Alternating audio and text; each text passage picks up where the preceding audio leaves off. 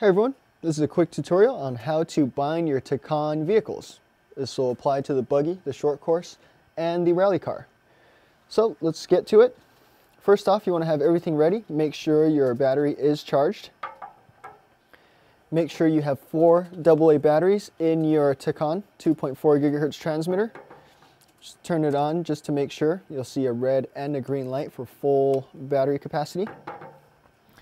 Inside the package, you're going to find some tools, turnbuckle adjustments, Allen wrenches, and we're looking for this, the jumper plug, which is also a bind plug.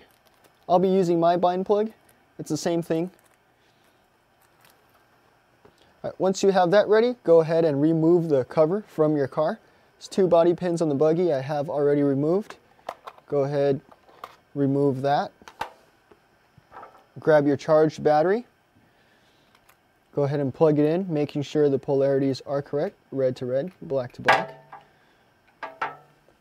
All right, once you do that, you want to come over and we're going to pay attention to this receiver right here. There's three channels, one and two for steering and your ESC. Your third channel is for your bind plug. I'm just going to show you guys what happens when I turn it on. It's going to be a slowly flashing green LED. What we want is a rapidly flashing green LED to prepare the receiver for binding go ahead and plug your bind plug into channel 3. Just to check, we're going to turn that on. Notice the rapidly flashing green light, which means it's ready to bind. Before we do that, let's come over to the transmitter here, the Tacon 2.4 gigahertz transmitter. Here's your trim knobs for throttle and steering. I like to center those out before I do it. You'll notice that there's a notch that's higher than the rest. Go ahead and line that up with the notch on the housing Another one right here that's lined up. Here's your steering dual rate. Steering dual rate. I like to just max that out and we'll make finer adjustments when we're driving it. Once that's ready, we're going to go ahead, back to the receiver, turn it on, rapidly flashing, which means we're ready to bind.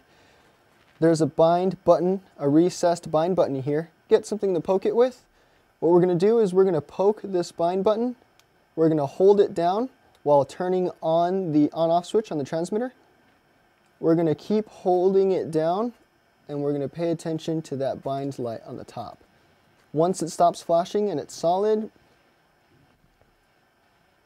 you'll hear the servo kind of buzz a little bit. Once that's done, turn the car off first. Turn the transmitter off. Go ahead and remove your bind plug. I'm just going to move this up here. Again, when you turn it on, transmitter on first. Lights are on. Car back on. Give it a test. And now your system has been bound. Now you can drive it, do your fine adjustments, steering adjustments, and dual rate adjustments to fine tune your vehicle. And that's pretty much it guys. That's how to bind your Tacon vehicles.